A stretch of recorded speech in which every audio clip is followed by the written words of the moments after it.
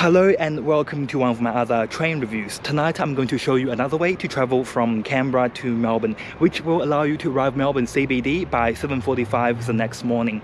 This trip will involve two trains and no road coaches, so if you are a train enthusiast, I'm sure you are as excited as I am right now. Let's go! Train to Canberra is expected to arrive in approximately 10 minutes. My journey begins at Canberra Kingston railway station. The station is located 6 kilometers south of Canberra Civic. To get here, you can catch bus R2 from City Interchange. The ride takes 90 minutes and the bus runs every 15 minutes on weekdays, half an hour on weekends. So getting to this station is not as hard as some of you may think. Canberra Station is the terminus for the New South Wales Southern Xplorer train service from Sydney Central Railway Station. The station is also served by New South Wales Trainlink coaches and V/Line coaches. The waiting room has plenty of seating space. You can find some power plugs attached to the wall. There's also a ticket office and a luggage room.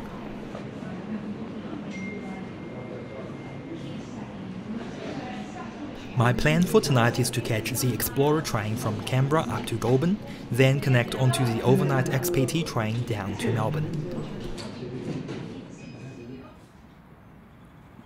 New South Wales Trainlink currently runs three daily return services from Sydney to Canberra, departing at around 7am, 12pm and 5.40pm and arriving Canberra at around 11.20am, 10 past 4pm and 10pm. This train, which just arrived Canberra, is a midday departure from Sydney. This is the most popular service out of the three because you don't have to get up early to catch the train or arrive in Canberra late at night, and it offers a coach connection to Eden via Cooma and Merimbula every day. The Xplorer is a diesel multiple unit train built by ABB Transportation in Dandenong, Victoria. The first Xplorer entered service in 1993. On the Canberra-Sydney service, the train comes with two travel classes. Car A is first class, Car B and D are economy class. I'm not sure where Car C is though. Boarding commenced at 4.40pm, approximately 25 minutes before departure. I booked an economy class seat in Car B.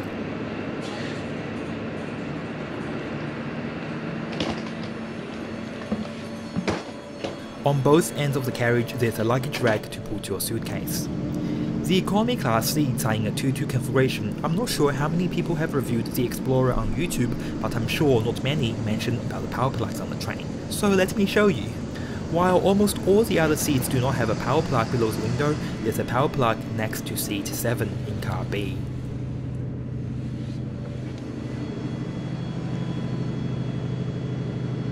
I'm sure many of you would wonder what the legroom of the first row is like, so let me show you that as well. Even though there's bulkhead at front, it has plenty of legroom, it actually has even more legroom than the standard first class seats. I'm 6 feet 1 tall and I can comfortably fully stretch my legs in this seat. The seat numbers of the front row seats are B1, 2, 3 and 4 on services to Sydney, and because these seats are reversible on services from Sydney, the first row seats are B65, 66, 67 and 68. Before the train departs, let me quickly show you what first class looks like.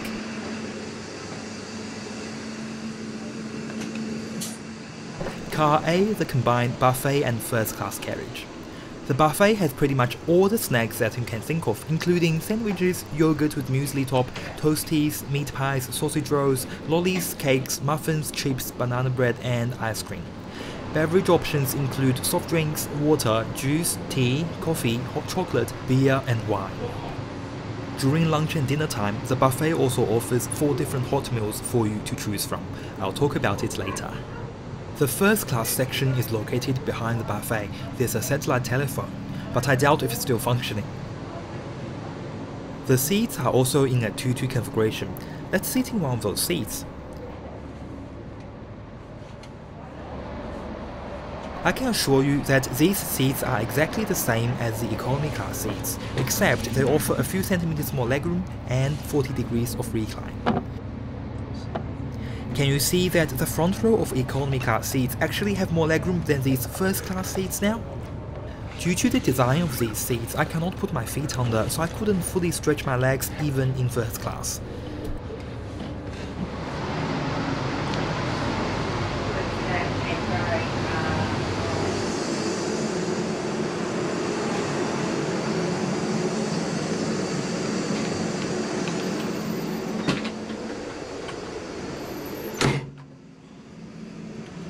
At the rear of each car there's a toilet. It is pretty clean.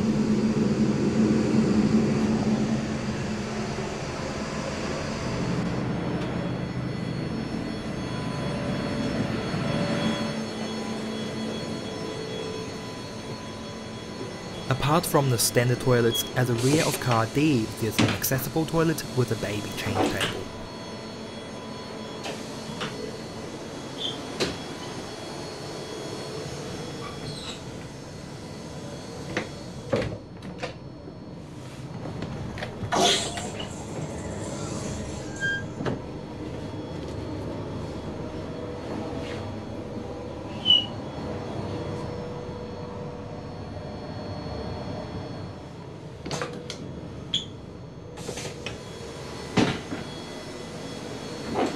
Since I'm already here, let me show you car D as well.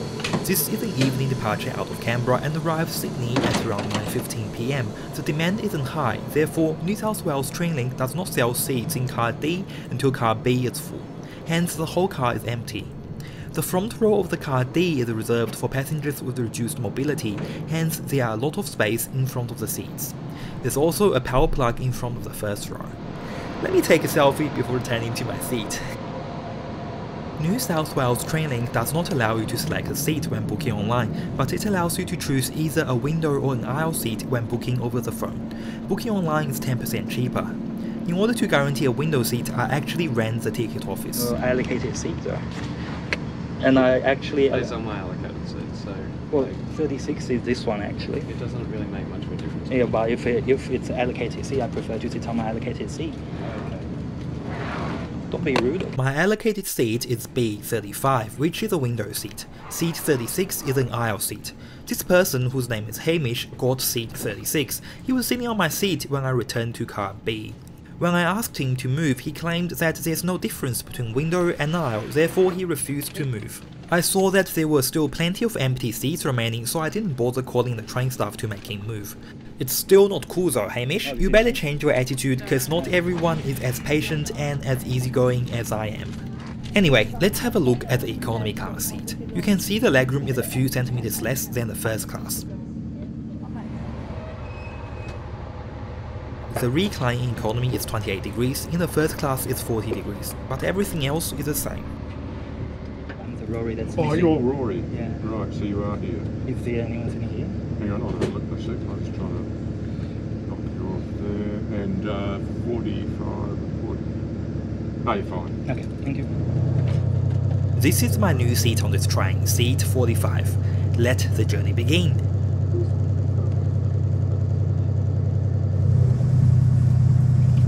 The train left Canberra at exactly 5.08pm.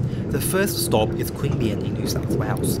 Queanbeyan is only 8.5 kilometers east of Canberra station. The trip takes 9 minutes. In the meantime, the staff at the buffet announced tonight's main meal options. The choices are We have a roast chicken with vegetables and potato, a Korean beef with white rice and vegetables, spaghetti bolognese, and the vegetable lasagna. So all meals are $10.50. Or if you'd like a non-alcoholic drink with your main meal, it's then $12.50. These meals will take around one hour to cook and I will make a very clear announcement when they're ready for your payment and collection. We'll shortly arrive at Queanbeyan, which is, which is our first stop. Queanbeyan is next. The meals sound delicious, especially the Korean beef with rice. This must be a new dish on the menu. I've never heard this option before. On the other hand, I don't know why the staff didn't wait a few minutes and announce the meal options after departing Queanbeyan instead, because now these passengers who boarded at Queanbeyan didn't get to hear the meal options. Ladies and gentlemen, our next stop will be Bungendore at 5.45.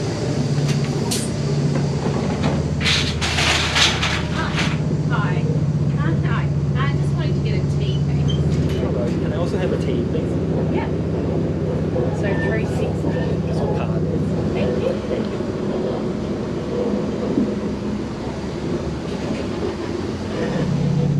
I would love to have one of the main meals, but I've already had my dinner planned while transiting in Goulburn, so I only purchased a cup of tea from the buffet.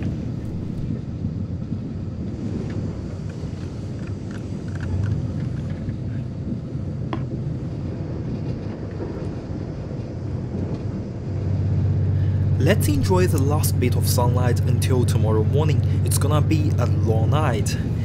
There are reading lights located above the seats. These lights are not adjustable, but they are pretty bright.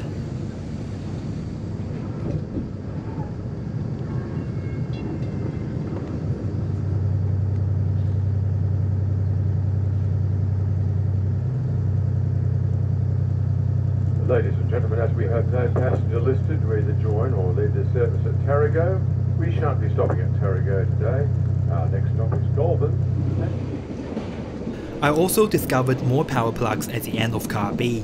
The seats that are next to a power plug are B7, B65, B67, D37 and D39. Remember that you can't select a specific seat, so you would be extremely lucky if you were allocated to one of these seats. Of course, there could be more power plugs. The next time I travel on the Xplorer, I'll do a thorough walkthrough of the train. Ladies and gentlemen, the train will soon call at Goulburn. Goulburn, our next stop.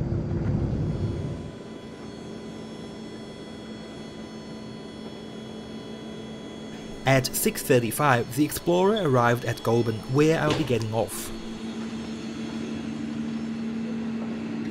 Despite being over 200 kilometers from Sydney, there are Opal card readers at this station. That's because Goulburn is a terminus of Sydney's intercity Southern Highlands line.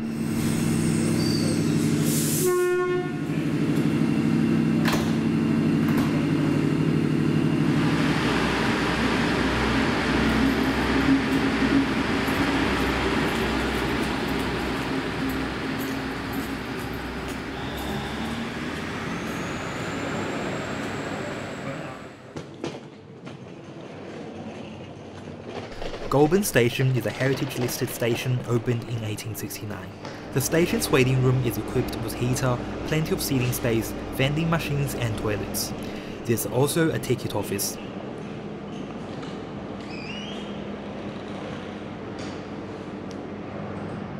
I decided to check in my luggage so that I can head to the town without the burden of my 15 kilo suitcase.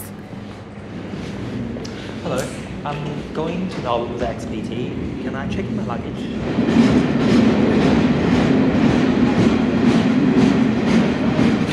Repeat this. Yep, thank you. So I don't have to worry about it until Yeah. Melbourne. Correct. Okay, thank you.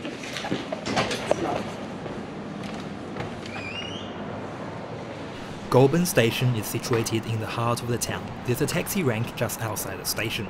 A Woolworths supermarket is just across the road.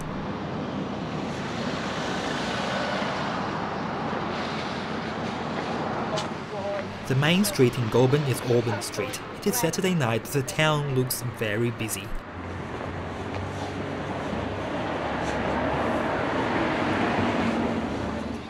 The place that I picked for dinner tonight is Hibernian Hotel. Locals call it the Hibbo. First licensed in 1850, this is one of the oldest hotels in Goulburn. Bistro 1850 is the home of Goulburn's great steaks. Even though the staff didn't say anything, I don't feel comfortable filming in a busy pub, so I didn't film much. The reason that I chose this place is because this pub has the highest rating on Google and the menu looks very attractive. The lamb shanks for $24, a teriyaki salmon for $24, the prices are very affordable. I booked a table before I left Canberra just in case it gets busy. To order food, just head to the kitchen. When the meal is ready, the staff will notify you through the buzzer. To order drinks, head to the bar. It's around 7.15, all the tables are reserved.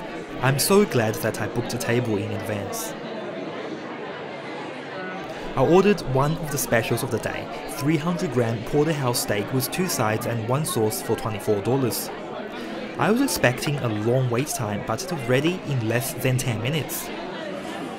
I picked veggies and chips for the sides, the sauce is mushroom sauce. Let's first not talk about the taste, but the whole plate for $24, it's almost cheaper than cooking at home. No wonder this place is so busy. I asked the steak to be cooked to medium. The first two cuts appeared to be medium well, but it was still tender and juicy.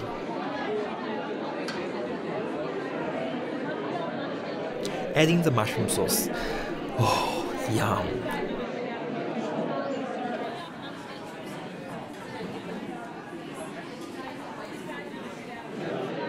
The chips were golden and crunchy, the veggies looked green. As I kept eating, the middle portion of the steak appeared to be red, so the steak was cooked to perfection. Absolutely lovely. I think I'll catch the train from Canberra to Goulburn and back one day, just to have this steak for dinner again.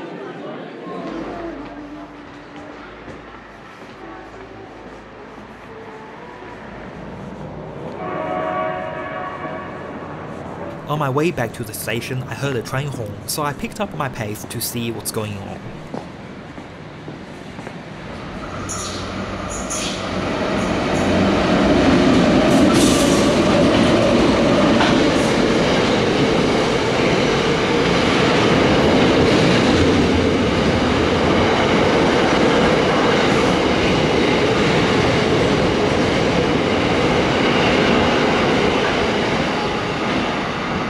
That was cool. As I still had 3 hours before the XPT arrives, I spent this valuable free time to work on my video and charge all my devices. I knew that there wouldn't be any power plugs on the train except in the sleeper cabin.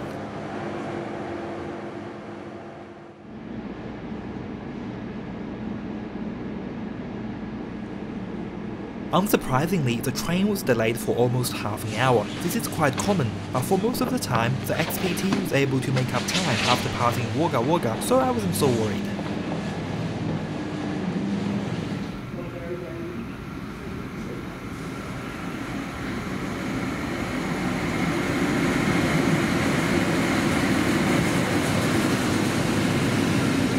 Tonight's overnight XPT has 6 cars, 1 first class sleeper, 2 first class and 3 economy class. The staff on this train gave me a surprise and reallocated me to car B, which is one of the first class carriages. Yes. I reallocated your seating. Okay. Is it So I put you in car B, seat 55. is it still window seat? Yeah, yeah, Okay. yeah. You'll see it just in here, Yep. into car B. Thank And you. I've set, I've got a set of four seats there for you with the light on, so it'll be easy for you to find. Thank you so That's much. That's right. I'll be with you shortly.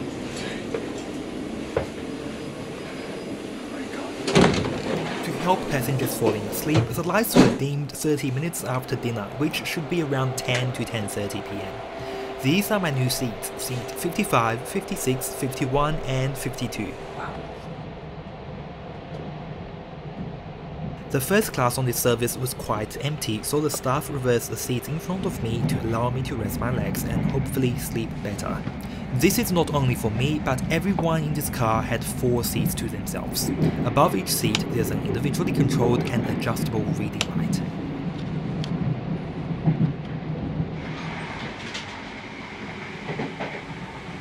Same as the Xplorer, there are luggage racks at the rear of each carriage.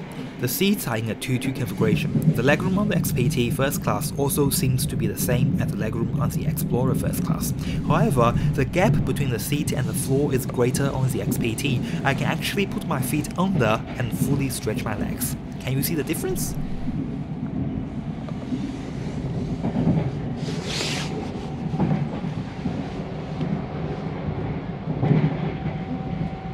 Compared to economy, first class seats on both the XPT and the Xplorer provide 40 degrees of recline instead of 28 degrees.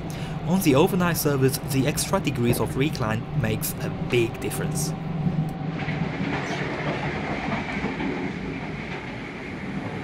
Car C is a half buffet, half first class carriage. The car also features an accessible toilet with a baby changing table.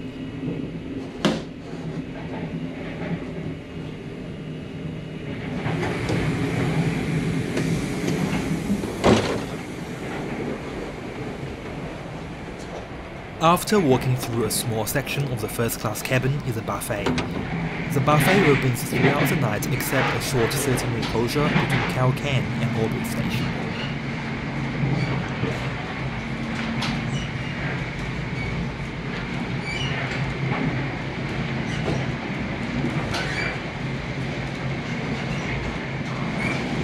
Five dollars, please. One card. Thank you. Thank you.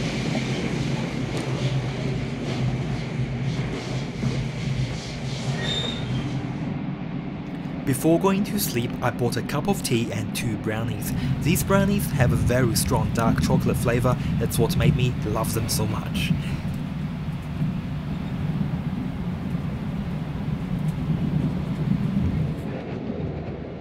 After finishing my late night snack, it's already past midnight. I'll try to get some sleep. Good night.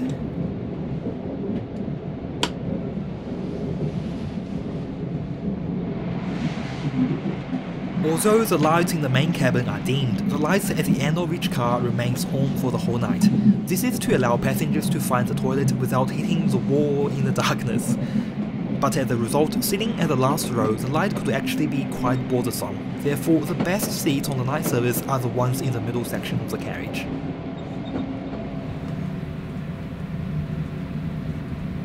I also did a sound level test. When the train was moving, the average decibel level was 53, which is similar to the sound of a refrigerator.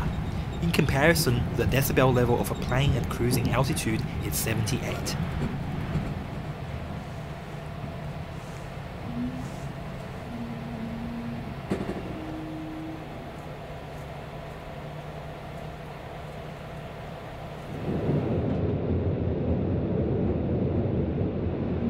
Wagga Wagga has to be one of the biggest stations along the route. There are many people catching the train even at 3 in the morning. To minimize noise, after the lights are dimmed, no announcements are made before the train arrives at the station. If you booked a ticket to get off at one of the regional New South Wales or Victoria locations, the staff would come to wake you up so you wouldn't miss your stop. If you intended to get on at one of these stations, the staff would leave a reading light on to make it easier for you to find your seat. On sections from Wagga Wagga to Culcairn, the train travelled a lot faster than at other sections. It ramps up from 80 km per hour out of Wagga Wagga, then 125, and by the time the train reaches Yerong Creek, it's pretty much 160 all the way to Culcairn.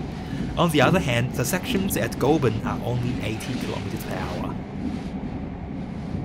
After sitting for a few hours, my legs began to feel sore. It is important to stand up and do some exercise every few hours in order to allow proper blood flow throughout your body.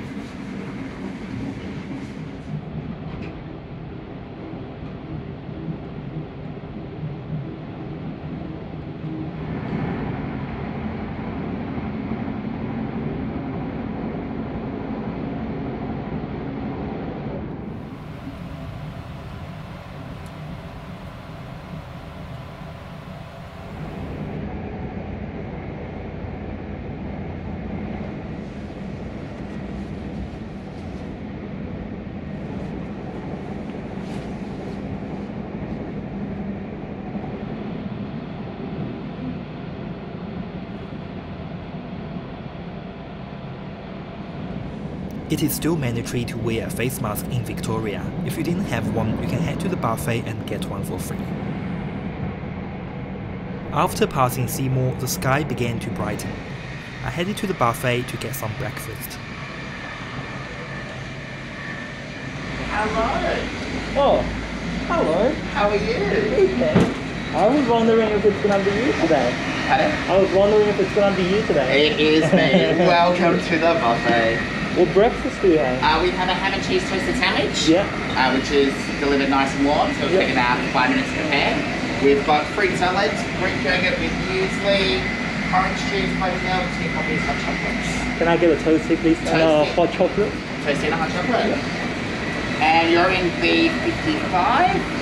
Am I? I don't know. Front and Yeah, yeah, yeah. somewhere there. Yeah. Ham and cheese, toasted sandwich, and a hot chocolate. We'll bring it all down to you in about five minutes time. Is $11.60 just on card? The ham and cheese toasted sandwich sounds delicious, so I got one of those along with a cup of hot chocolate.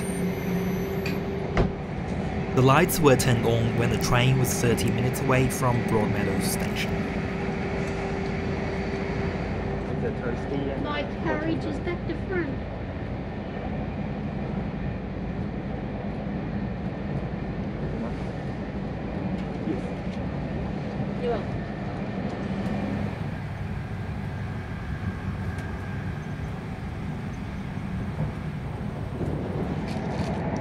Toasties tasted quite good. It's definitely better than the complimentary cornflakes that are served in first class sleeper. I enjoyed my hot chocolate as well.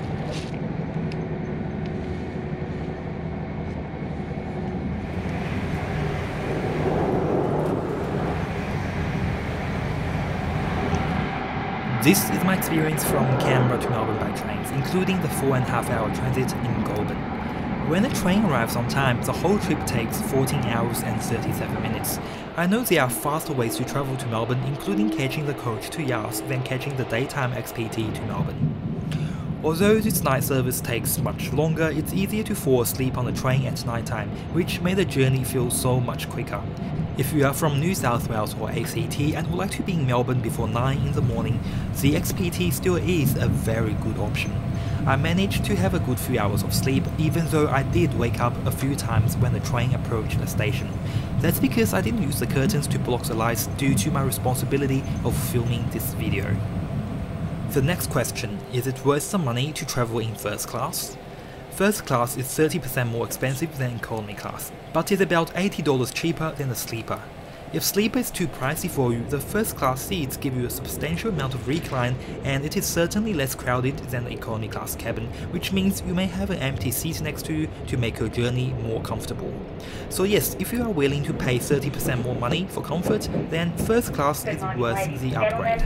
Our next stopping station in a few minutes time where this service will terminate this morning is Cross Station, Melbourne. I know many of you have commented about how slow trains in Australia are. Yes, I know that, and I have travelled on almost all the bullet trains across the globe, including Japan's Shinkansen, China's Fuxing train, Russia's Sapsan, the Eurostar, France's TGV, Germany's ICE, the Renfe AVE, and even Morocco's TGV. Japan's population is 126.3 million, Western Europe is 196 million, China is 1.4 billion. The population of Victoria and New South Wales combined is only 14 million. I know how fast and modern the bullet trains are and how convenient they can be, but we don't have a large population base to make a bullet train line economically sustainable. Besides, if you are in a hurry, you can always catch a flight in Australia.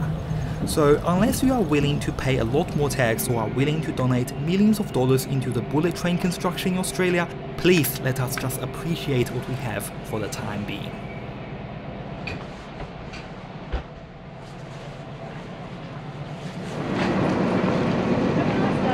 Thank you, you. Thank you so much for watching this video. Train videos are always a lot more complex and takes much much longer for me to make. If you find it interesting, please hit the like button and subscribe to my channel for more train, flight and hotel reviews. I'll see you guys in my next video.